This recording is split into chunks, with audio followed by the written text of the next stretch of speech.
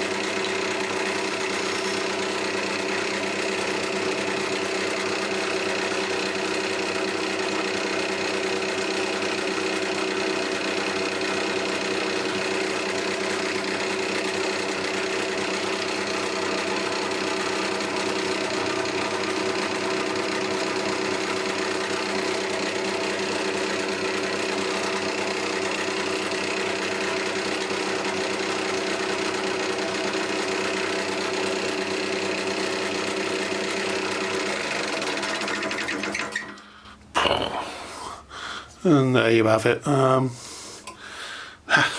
as you can see I need practice. Um, it's a good technique to work on. Uh, a couple of times I did wimp out and just do the bit of shaping. Um, now it's just a quick sand up and it's ready to start working as a seed dibber. Have fun. See you in the next video